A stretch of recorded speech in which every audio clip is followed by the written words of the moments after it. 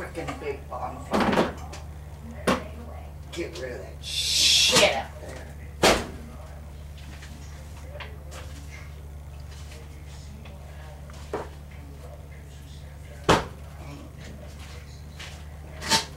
People's damn storage unit.